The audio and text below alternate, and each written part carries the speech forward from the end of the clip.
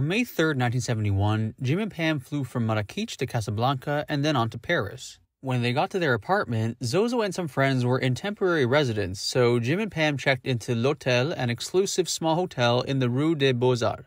L'Hotel was famous for its discretion, and many celebrities felt comfortable there.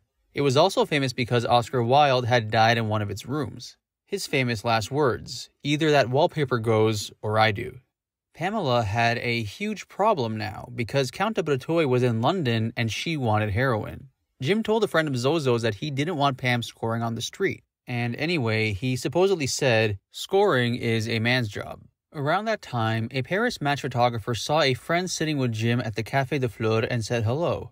A few minutes later, the friend came over to his table, explained that Jim Morrison wanted some heroin, and did he know where they could find some? The upscale junk using denizens of Paris usually ended up at the rock and roll circus, very late at night.